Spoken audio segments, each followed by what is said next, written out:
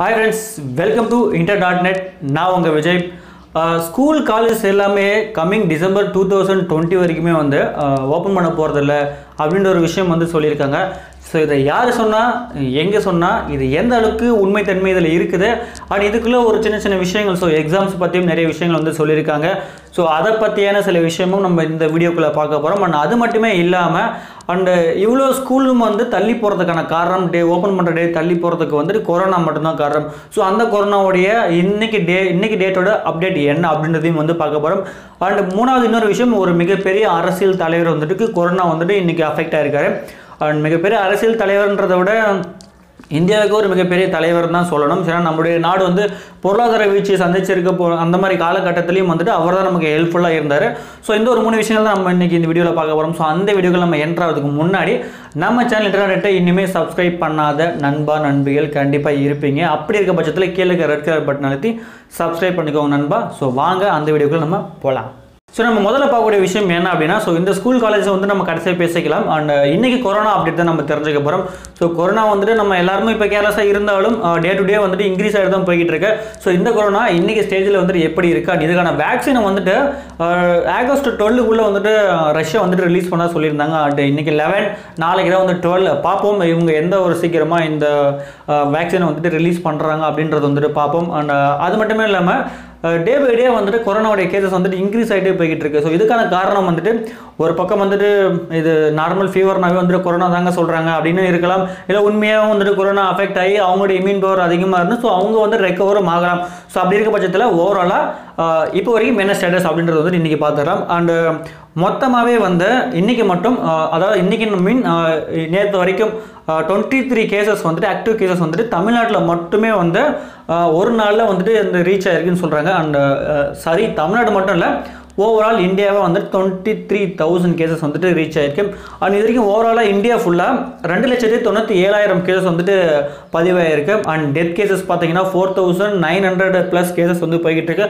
So நான் recovery case வந்துட்டு நான் எப்பவுமே இங்கே பேச மாட்டேன். ஸோ அது வந்துட்டு யூஸ்லெஸ் அண்ட் மொத்தமாக இது வரைக்கும் இந்தியா ஃபுல்லாக வந்துட்டு ரெண்டு கோடி இருபத்தி ஏழு லட்சம் பேர் வந்துட்டு இது வரைக்கும் பாதிக்கப்பட்டிருக்காங்க. அண்ட் மொத்தமாக நாற்பத்தஞ்சாயிரத்தி முந்நூறு ப்ளஸ் பே கேசஸ் வந்துட்டு டெத் ஆகியிருக்காங்க இது ரொம்பவே வந்து பெரிய நம்பர்ஸ் தான். பட் இந்த நம்பர்ஸை நம்ம யாரும் பெருசாக கேர் பண்ணாததுக்கான காரணம் இது கொரோனா கொரோனா எவ்வளோ நாள் தான் நம்ம பேசிக்கிட்டே இருப்போம். அது மட்டுமே இல்லாமல் இந்த கொரோனா அஃபெக்ட் ஆகி அவ்வளோவா டெட் ஆகிற கேஸ் வந்துட்டு ரொம்பவே கம்மி அப்படின்றதால ஸோ எல்லாரும் இந்த கொரோனாவை பெருசாக எடுத்துக்கிறது இல்லை. ஸோ இனிமேல் நம்ம அதை சீரியஸாக எடுத்துக்கிட்டு இனிமேல் நம்மளும் வந்துட்டு அஃபெக்ட் ஆகாமல் இருப்போம். ஆனால் அது மட்டும் இல்லாமல் நம்ம ரெண்டாவது பார்க்குற விஷயம் என்னென்னா ஸோ மிக முக்கியமான ஒரு தலைவர் சொல்லியிருந்தேன் இதுக்கு முன்னாடி மிக முக்கியமான தலைவர் ஒருத்தர் வந்துட்டு கொரோனாவில் வந்துட்டு அஃபெக்ட் ஆகிருக்கிறாரு அப்படின்னு சொல்லிட்டு. ஸோ அவர் யாருன்னு பார்த்தா நம்ம நாட்டுடைய முன்னாள் குடியரசுத் தலைவர் அப்படின்னு சொல்லக்கூடிய பிரணாப் முகர்ஜி அவர்கள் தான் வந்து இந்த கொரோனா வந்து பாதிக்கப்பட்டிருக்காங்க.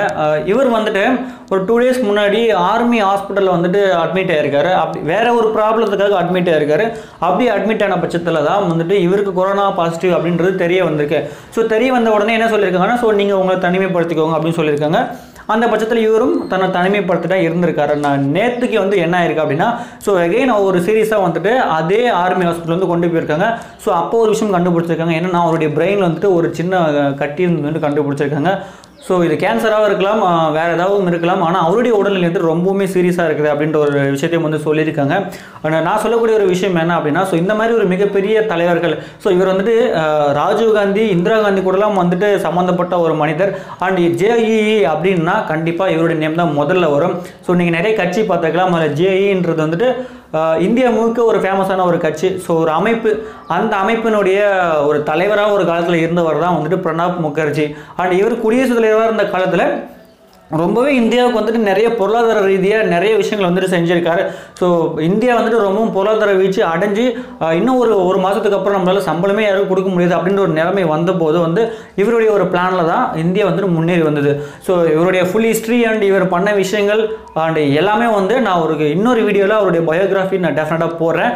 ஸோ இந்த வீடியோவில் ஒரு லேஅவுட் மட்டும் கொடுத்துட்டேன். ஸோ யார் இவர் அப்படின்ட்டு அண்ட் இவர் வந்து வென்டிலேட்டரில் வந்துட்டு இப்போ வைக்கப்பட்டிருக்கார். இவர் மாதிரி ஆட்கள்லாம் இந்த பெரிய பெரிய தலைவர்கள் எல்லாமே வந்துட்டு அவங்களுடைய சேஃப்டி நீங்கள் ஒழுங்காக பார்த்துக்கிட்டீங்க அப்படின்னா தான் ஸோ உங்களுடைய மக்களுடைய சேஃப்டி வந்துட்டு பாதுகாக்கப்படும். ஏன்னா உங்களுக்கே அப்படி ஆகும்போது மக்கள் என்ன நினைப்பாங்க? அவ்வளோ பெரிய தலைவருக்கே அப்படி ஆகும்போது ஸோ நம்மளாம் எந்த அளவுக்கு அப்படின்ற ஒரு தாட் கண்டிப்பாக எல்லாருக்கும் வந்துட்டு கிரியேட் ஆகும். ஸோ அப்படி ஒரு மைண்ட் வந்து நீங்கள் கிரியேட் பண்ணி விடக்கூடாதுன்னு நினைச்சீங்கன்னா ஸோ உங்களை நீங்கள் கரெக்டாக பார்த்துக்கோங்க. நீங்களே அஃபெக்ட் ஆனீங்க அப்படின்னா கீழே இருக்க மக்கள் டெஃபினட்டாக வந்துட்டு பயப்பட தான் செய்வாங்க. அண்ட் மூணாவதாக பார்க்கக்கூடிய அந்த ஒரு விஷயம் ஸோ நம்ம மக்கள் எல்லாரையும் எதிர்பார்த்த அந்த ஒரு விஷயம் தான் ஸ்கூல் காலேஜஸ் இது ரெண்டுமே வந்து இப்போது ஓப்பன் பண்ணக்கூடாது அப்படின்ற மாதிரி ஒரு விஷயத்த வந்து சொல்லியிருக்காங்க. டூ தௌசண்ட் டுவெண்ட்டி டிசம்பர் வரைக்குமே ஸ்கூல் காலேஜஸ் ஓப்பன் பண்ண போகிறதில்ல இது மேபி ஹண்ட்ரட் பர்சன்டேஜ் வந்து கன்ஃபார்மான ஒரு விஷயம் தான். ஏன் நேற்று வந்துட்டு மனித வள மேம்பாடு அப்படின்ற மாதிரி ஒரு கூட்டம் வந்துட்டு அமைச்சிருக்காங்க. ஸோ இந்தியா முழுக்க இருக்க மொத்த அரசியல் தலைவர்களும் வந்து கலந்துருக்காங்க. அதில் முக்கியமாக மத்திய உயர்கல்வித்துறை செயலாளர் அமித் காரே அப்படின்றவர் வந்துட்டு எல்லா விஷயத்தையும் பேசிட்டே வந்திருக்கும்போது ஸோ அந்த ஸ்கூல் காலேஜ் ஓப்பனை பற்றி ஒரு சில விஷயங்கள் வந்துட்டு பேசப்பட்டிருக்காரு. அப்போ டிஸ்கஷன் வந்துட்டு என்ன போயிருக்கு அப்படின்னு கேட்டிங்கன்னா ஸ்கூல் காலேஜஸ் ஓப்பன் பண்ணுற ஐடியா இந்த இயர் டிசம்பர் வரைக்கும் வந்துட்டு கிடையவே கிடையாது அப்படின்ற விஷயத்த தெல்ல தெளிவாக சொல்லியிருக்காங்க. உடனே எல்லாரும் ஹாப்பி ஆகாதீங்க இன்னொரு சின்ன விஷயத்தையும் அங்கே வச்சுருக்காங்க. என்னன்னா இப்போது இப்போ காலேஜஸ் இருக்கு பார்த்தீங்களா ஸோ ஸ்கூலை விடுங்க. காலேஜஸ்க்கு வந்துடும் ஸோ இந்த காலேஜஸில் இருக்கிற ஃபைனல் இயர் ஸ்டூடெண்ட்ஸ் இருக்காங்க பார்த்தீங்களா அவங்க எல்லாருக்கும் வந்து டெஃபினட்டாக எக்ஸாம் வைக்கப்படும் அப்படின்றத தெல்ல தெளிவாக சொல்லியிருக்கிறாங்க. அண்ட் ஸ்கூலுக்கு வந்து ஆல் பாஸ் வந்து போட்டுருவாங்க. அது நோ ப்ராப்ளம் ஆனால் காலேஜஸ்க்கு வந்துட்டு அப்படி பண்ண முடியாது. ஏன்னா நீங்கள் நினைக்கலாம் என்னடா எல்லாருக்கும் ஆல் பாஸ் கொடுத்துறீங்க ஸோ எங்களுக்கும் ஆல் பாஸ் கொடுத்தாலுமே நீங்கள் நினைக்கலாம். ஆனால் உங்களுக்கு இருக்க டிராபேக் என்ன தெரியுங்களா? ஒருவேளை உங்களுக்கு ஆல் பாஸ் வந்து கொடுத்துட்டாங்க அப்படின்ற பட்சத்தில் ஸோ ஸ்கூல் வந்துட்டு ஆல் பாஸ் கொடுக்கும்போது அவங்க அதை முடிச்சுட்டு உயர்கல்வி தான் போவாங்க. ஸோ ஒரு காலேஜுக்கு தான் போவாங்க.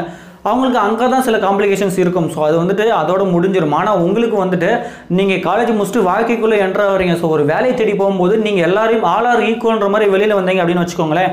உங்களுக்கு ஒரு பர்சன்டேஜே இல்லாமல் ஆல் ஆர் ஈக்குவல்னு வெளில வந்துட்டீங்க. அப்போ உங்களுக்கு என்ன ஆகுனா உங்களுடைய ரெகக்னேஷன் அங்கே கிடைக்காது. உங்களுக்கான ரெஸ்பெக்ட் மதிப்பு அந்த இடத்துல கண்டிப்பாக யாரும் கொடுக்க மாட்டாங்க. ஸோ நீ இந்த பேட்ச் தானே? ஸோ இங்கே தானே வந்த நீ.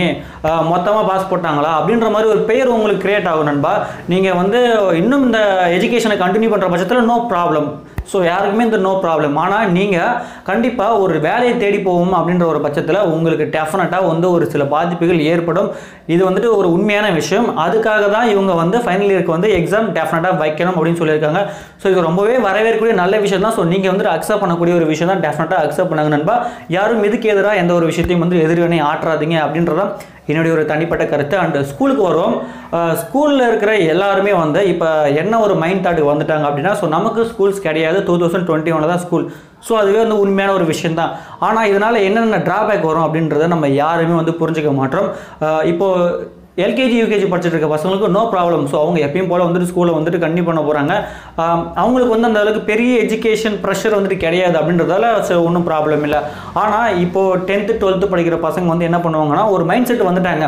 ஸோ ஒன் ஹவராக ஒன் அண்ட் ஆஃப் அன் ஹவராக ஆன்லைன் கிளாஸ் அவ்வளோதான்ப்பா அதுக்கப்புறம் நம்ம ஃப்ரீயாக இருக்கலான்ற ஒரு மைண்ட் வந்துட்டாங்க. இதுக்கப்புறம் டுவெண்ட்டி ஒனில் நீங்கள் ஸ்கூல்ஸ் எல்லாமே ஓப்பன் பண்ணுற பட்சத்தில் அவங்க ஸ்டாண்ட் பண்ணி எயிட் ஹவர்ஸ் வந்துட்டு கிளாஸ் கவனிக்கிறதுக்கான வாய்ப்புகள் சுத்தமாக கிடையவே கிடையாது. ஸோ இப்போவே நீங்கள் அந்த பழக்கத்துக்கு வந்திருப்பீங்க. அந்த one hour two hour online class நீங்கள் உட்காந்து ஒரு எட்டு மணி நேரம் நான் நடத்துகிறேன் அப்படின்னு சொன்னால் டெஃபினட்டாக நீங்கள் தூங்கிடுவீங்க இந்த பழக்கம் நாளுக்கு நாள் வளர வளர அப்படியே வந்துட்டு பழகி போயிடும் அண்ட் அது மட்டுமே இல்லாமல் சின்ன பசங்க இருக்காங்க பார்த்தீங்களா ஸோ அவங்களாம் வந்துட்டு ஸ்கூலுக்கு அனுப்புறது ஒரு மிகப்பெரிய விஷயமா இருக்கும். ஸோ இந்த மாதிரி ஸ்கூலே இல்லைன்னு ஆகும்போது திரும்ப அவங்கள ஸ்கூலுக்கு அனுப்புறது ரொம்பவே ஒரு கஷ்டமான விஷயம். அண்ட் அங்கே போய் அவங்க படித்து வர்றதை வந்துட்டு சாத்தியக்கூறுகள் இருக்குது. ஆனால் வந்துட்டு ரொம்பவும் ரொம்ப ரொம்ப ரொம்ப காம்ப்ளிகேஷனான ஒரு விஷயம். ஸோ இதை கவர்மெண்ட் ரொம்பவே வந்துட்டு திங்க் பண்ணி பார்க்கணும். ஸோ கொரோனான்றது ஒன்று இருக்குதா? அது இல்லைன்னு சொல்லலை. மனுஷனுக்கு படிப்பை விட உயிர் ரொம்பவே முக்கியன்றது ஏற்றுக்கக்கூடிய ஒரு கருத்து தான். ஆனால் இப்படியே போனால் என்ன ஆகுன்னு ஒரு நிலமை வரும்ல? அப்படி யோசிச்சு பாருங்களேன். இதுக்கு செத்து போயிடலாண்டான்ற ஒரு நிலைமை டெஃபினட்டாக எல்லாரும் ஒரு இடத்துல திங்க் பண்ணியிருப்பீங்க ஆனால் நான் அதுக்காக அப்படி பண்ணிருங்க அப்படின்னு சொல்லலை. ஆனால் அந்த நிலை மாறணும் அப்படின்னும் போது ஸோ சீக்கிரமே ஸ்கூல் காலேஜஸ் எல்லாமே ஓப்பன் பண்ணுற ஒரு சுச்சுவேஷன் வந்துட்டு கவர்மெண்ட் ஏற்படுத்துனாங்க அப்படின்னா ரொம்பவுமே நல்லா இருக்கும். ஸோ நான் ஸ்டூடெண்ட்ஸுக்கு அகேன்ஸ்டாக வந்துட்டு பேச விரும்பல. ஆனால் இருந்தாலும் இதுதான் நண்பா உண்மை. இப்படி இருந்தால் தான் நம்மளுடைய வாழ்க்கையில் வெற்றி பெற முடியும் அப்படின்றத நீங்கள் உங்கள் மைண்டில் வச்சுக்கோங்க. ஸோ அதுக்காக தான் என்னுடைய சைடில் இந்த ஒரு சின்ன ரெக்வஸ்ட்டையும் வந்துட்டு நான் உங்களுக்கு சொல்லிக்கிறேன். சரி ஓகே நண்பா. இந்த வீடியோ உங்களுக்கு பிடிச்சிருந்துச்சி அப்படின்னா கண்டிப்பாக இந்த வீடியோ லைக் பண்ணுங்கள் ஒருவேளை பிடிக்கல அப்படின்ற பட்சத்தில் டிஸ்லைக் பண்ணி ஏன்றதையும் கமெண்ட் செக்ஷனில் சொல்லிடுங்க அண்ட் நம்மளுடைய சேனலை இன்னுமே சப்ஸ்கிரைப் பண்ணாத நண்பா நண்பிகள் யாராவது இருந்தீங்க அப்படின்னா கண்டிப்பாக கீழே ரெட் கலர் பட்டன் அழுத்தி சப்ஸ்கிரைப் பண்ணிக்கோங்க. பக்கத்துக்கு இருக்க பெல் சிம்லையும் ப்ரெஸ் பண்ணி ஆள்னு கொடுத்துக்கோங்க நண்பா. நான் டெய்லி போஸ்ட் பண்ணுற அந்த ஒரு வீடியோ உங்களுக்கு நோட்டிஃபிகேஷன் வர்றதுக்கு அது ஒரு வழியாக இருக்கும். ஸோ நெக்ஸ்ட் ஒரு இன்ட்ரெஸ்டான அண்ட் இன்ஃபர்மேட்டிவான வீடியோ வந்து நான் உங்களை மீட் பண்ணுறேன் அது வரைக்கும் நான் உங்கள் Vijay. Stay safe be safe bye friends